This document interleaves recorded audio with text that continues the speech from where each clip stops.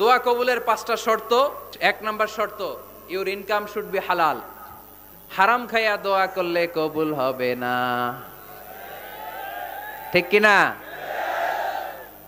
কোটি কোটি টাকা কামাইছে, মসজিদ বানাই দিছে। হাজার কোটি টাকা দিয়ে এতিমখানা, কোনো লাভ হইছে? কোনো লাভ হয় নাই। ইল্লা তাইয়িবা। আল্লাহ পবিত্র। আল্লাহ যেটা গ্রহণ করে ওইটাও হওয়া লাগবে। লা ইয়াকবালু ইল্লা তাইয়িবা। হারাম থেকে আল্লাহ কবুল করে না। এক সাহাবী, এক লোক এক লোক আল্লাহর হাবিবের জামানায় কাবা ঘরের চারদিকে কাঁদতে কাঁদতে, ঘামতে ঘামতে দোয়া করতে করতে শেষ। ইয়ারব ইয়ারব মাফ করো মাফ করো। সাহাবিরা দেখে বলে, এর চেয়ে বেশি আমল তো কাউরে করতে দেখলাম না। আজকে তার সব দোয়া কবুল। বিষ্ণু বললেন, তোমরা তাই মনে করো? মাতা আমুহু হারাম। ও যা খায়, হারাম খায়।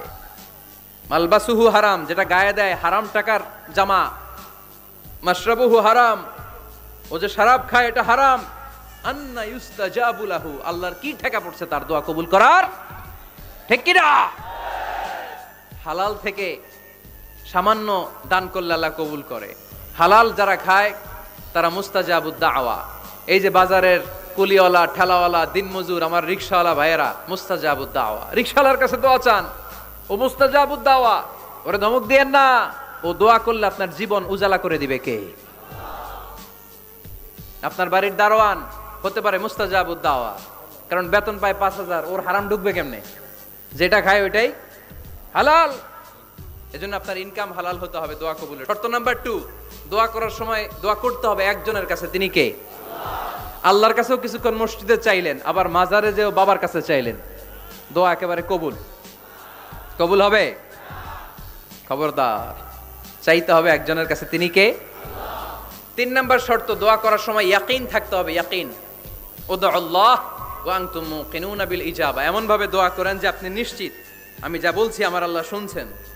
আমি যা বলছি, এ দোয়া আল্লাহ কবুল করবেন, অবশ্যই করবেন। আল্লাহর উপর আস্থা একটু কম না? কম না বেশি? যার আস্থা বেশি, তার দোয়া কবুল হওয়ার সম্ভাবনাও বেশি। আপনি যদি সন্দেহে হায় রে দোয়াটা যে করতেছি, না জানি কবুল না হয়। ওই দোয়া জীবনেও কবুল হবে। উদ আল্লাহ বিল ইজাবা।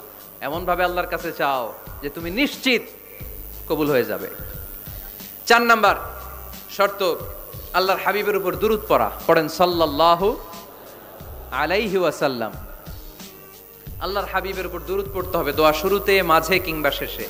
যদি আল্লাহর হাবিবের উপর দুরুদ না পড়েন, ওই দোয়া কবুল হবে কুল্লু দুআইন মাহজুব মাওকুফ বাইনা সামাই ওয়াল আরদ, হাত্তা ইউসাল্লা আলাইয়া। আল্লাহর হাবিব বলেন, জীবনে যত দোয়া করছ, আমার উপর দুরুদ না পড়লে আকাশ জমিনের মাঝখানে এটা পেন্ডিং হয়ে থাকে। কি হয়ে থাকে? সবাই বলেন পেন্ডিং শব্দটা কি আপনাদের কাছে অপরিচিত নাকি? মেসেজ করছেন, বন্ধুরে, মোবাইলে টাকা নাই। মেসেজটা কি হয়ে থাকে? পেন্ডিং তো দোয়া করছেন, দুরুদ পড়েন নাই পেন্ডিং আজকে রাত্রে যে ইচ্ছা মতো আল্লাহর হাবিবের উপর দুরুদ পাঠাই দিবেন। যত দোয়া পেন্ডিং হয়ে আছে, সব আরও সে উঠাই দিবে কে? দোয়া কবুলের সর্বশেষ শর্ত হচ্ছে মোয়াফাকতুদ দোয়া বি দাওয়া। দোয়ার সাথে দাওয়া লাগবে। দোয়ার সাথে? দোয়ার সাথে?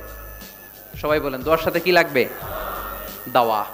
দোয়া করলেন আল্লাহ, পরীক্ষায় ফার্স্ট হওয়ার তৌফিক দান করো। লেখাপড়ার সাথে কোনো খবর নাই। একেবারে ফার্স্ট হয়ে যাবেন। অনেক সময় মাহফিল শেষে অনেক বাবারা কলম নিয়ে আসে আমার কাছে। আমি বললাম, ঘটনা কি? কলম হাদিয়া দিবেন নাকি? কয়, না, হুজুর। তো কি? বলে, এটা পড়ায় দেন। পড়ায় দেবো মানে? কামার সেলের পরীক্ষা। আপনার এই ফু দেওয়া কলম দিয়ে পরীক্ষা দিলে গোল্ডেন এ প্লাস। আমি কই, পড়াশোনা না করলে ডবল জিরো? ঠিক কি না? আগে পড়াশোনা করতে হবে।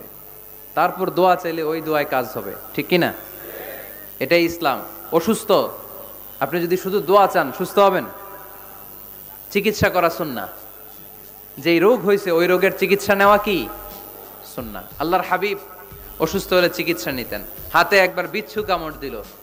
আল্লাহর হাবিবের আঙ্গুলে। তিনি রেগে গেলেন, ব্যথা পেলেন, আর বিচ্ছুরে বললেন, আরে বিচ্ছু, মানুষও চিনোস না, নবীও চিনোস না। কোথায় কামড় দিতে হবে এটাও জানোস না। কিন্তু কামড় যখন দিয়ে ফেলছে, বিশ্বনবী ব্যথা পাচ্ছেন। বিশ্বনবী সুরে এখলাস পড়ে ফাতেহা পড়ে ফু দিতে লাগলেন।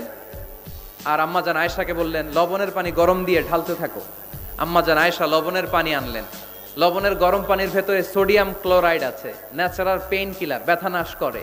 আম্মা জান আয়েশা গড় করে লবণের পানি ঢালতে লাগলেন, আল্লাহর হাবিব কোরআন পরে ফু দিতে লাগলেন। পানি ঢালা শেষ গড় করে লবণের পানি ঢালা শেষ বিষ্ণুনবীর দোয়া পড়া শেষ, এর মধ্যে আঙ্গুলের ব্যথাও শেষ। কারণ দুইটার সমন্বয় হয়েছে, দোয়াও আছে, দাওয়াও এক যুবক হুজুরের কাছে দোয়া চাইছে, হুজুর, দোয়া করেন, আল্লাহ যেন আমার একটা ছেলে দেয়। কি দেয়? ছেলে হয় নাই। পরের বছর আইসা আবার দোয়া, হুজুর, দোয়া করেন, আল্লাহ যেন একটা ছেলে দেয়। হুজুর আবার দোয়া করলেন, ছেলে হয় নাই। তৃতীয় বছর আবার, হুজুর, দোয়া করেন, আল্লাহ যেন একটা ছেলে দেয়। হুজুর কয়, ঘটনা কি?